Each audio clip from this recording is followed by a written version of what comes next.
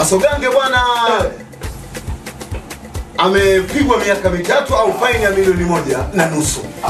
Sasa kaweza Masogange? ah, milioni moja na nusu amelipa, yaani aidha miaka mitatu. au milioni moja.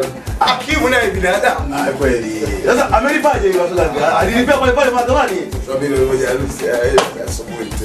Eh, kama dola 700 katoka kwenye wale. Wewe milioni moja na nusu unafikiri utaweza? Ametoa kwenye wallet saba Kama hizo. Kwa hiyo sasa hivi yuko huru. huru.